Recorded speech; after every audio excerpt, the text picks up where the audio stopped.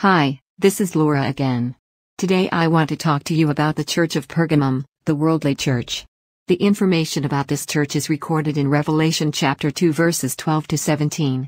Pergamum was noted for its pagan religions and many heathen temples. Among others, they worshipped Dionysus, the god of vegetation, and Aesculapius, the god of healing. A medical school was attached to this pagan cult, and the well-known symbol of the medical profession, a serpent twined around a staff, first appeared there. The great altar dedicated to the chief Greek savior god, Zeus Olympus, was located in Pergamum, along with an altar to Athena, patron goddess of Athens. Roman emperor worship was practiced in Pergamum, its first temple being erected in 29 BC. Citizens were required to burn a pinch of incense at the foot of Caesar's statue, honoring him as a god. Those who refused to do so were immediately arrested. Another satanic religious system, which had been started in Babylon by Semiramis, wife of Nimrod, found a new home in Pergamum when Babylon was captured by the Persians in 539 BC with the worship of Caesar, Zeus, Aesculapius, and other pseudo-gods. Satan had firmly established himself throughout the city. Scripture indicates that Satan is the prince of the power of the air, see Ephesians chapter 2 verse 2, the god of this age, recorded in 2 Corinthians chapter 4 verse 4, who goes throughout the world, See John chapter 12 verse 31 and John chapter 14 verse 30. He is like a roaring lion seeking whom he may devour. See 1 Peter chapter 5 verse 8. It seems natural, therefore, that Satan would set up his operation in the center of idolatry, learning, and the healing arts. In this way he could control the mind of man through learning, the body of man through healing, and the soul of man through pagan religion. And the church of Pergamum was begun right where Satan's throne in Revelation verse 13 had been set up.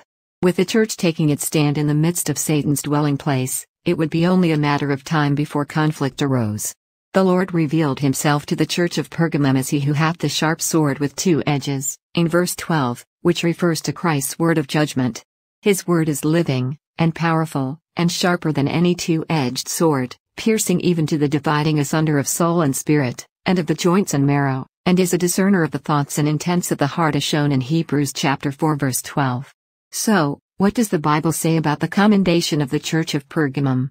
Christ was well aware of the works, see verse 13, of the believers at Pergamum. He also knew the conditions in which this church had to live out its commitment to him and the pressures they faced. He praised the believers for their commitment to him in three ways.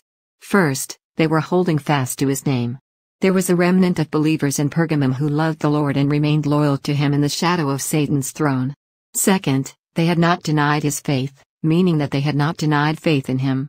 They recognized the truth about Christ and were wired to confess explicit faith in him as the only Savior to be followed and worshipped as God. In so doing, they put their lives on the line in a society controlled by Satan and full of heathen worship. Third, Christ recognized Antipas, whom the Lord called my faithful martyr, who was slain among you, where Satan dwelleth. The name Antipas means against all.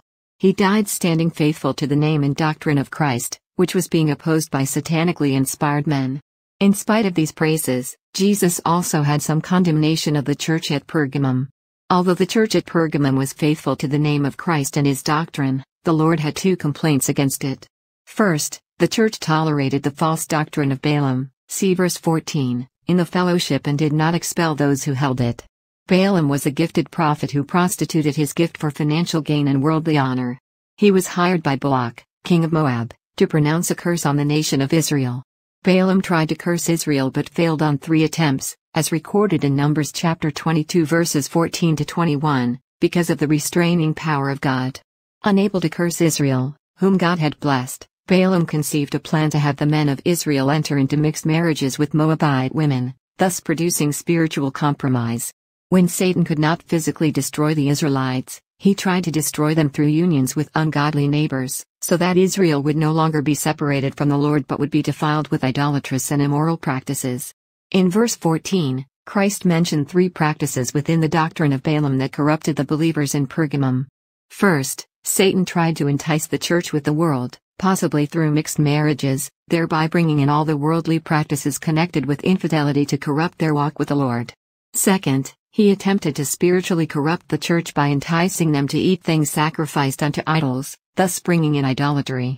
Third, Satan tried to corrupt the church through the sexual sin of fornication. These practices were condemned by the First Church Council in Jerusalem, as recorded in Acts chapter 15 verses 19 to 20. Christ's second complaint against the church at Pergamum was that it tolerated the doctrine of the Nicolaitans, which thing I hate. This was a doctrine held by professing believers in the church, wherein they claimed to have liberty in Christ, which led to licentious living, denial of God as creator, and freedom to eat foods offered to idols. What was a deed in Ephesus became a doctrine in Pergamum. The church must remember that union with Christ is like a marriage relationship. The name Pergamum means married and is a picture of a church that became married to the world.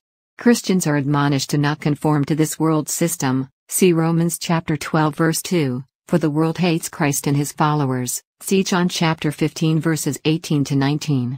Those who would be friends of the world are enemies of God, as stated in James chapter 4 verse 4. The church must remember that union with Christ is like the marriage relationship. See 2 Corinthians chapter 11 verses 2 to 3, and it should not be unequally yoked together with unbelievers or the dark works of the world system as stated in 2 Corinthians chapter 6 starting at verse 11. Jesus even offered counsel to the church at Pergamum. The Lord commanded the church at Pergamum to repent. See verse 16. True repentance involves three things contrition of heart, confession of sin, and a change in conduct. He warned them that failure to repent would cause him to come to the church quickly and fight against them with the sword of his mouth. The Lord will not tolerate compromise within his church, he will fight against all who defile it.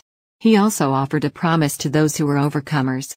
Christ promised three things to the overcomers. First, they will be given hidden manna, see verse 17, to eat.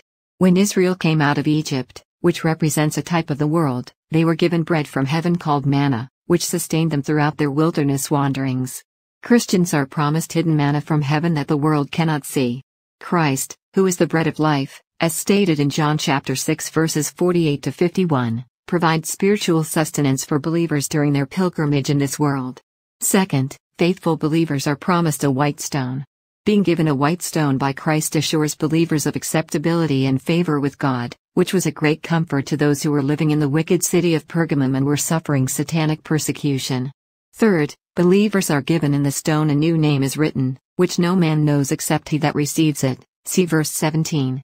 The individualized name provided for each believer symbolizes the personal and intimate relationship that the believer will experience with the Lord in heaven.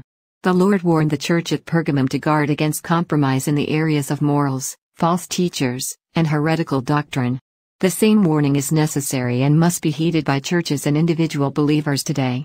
For today, we are surrounded by the deeds and disciples of Satan, and it takes true believers to stand for Jesus in this sin heavy world.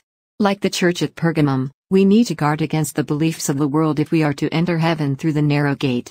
To watch more videos like this one, you can go to our website at nehemiahreset.org or go to Nehemiah Reset's Rumble channel.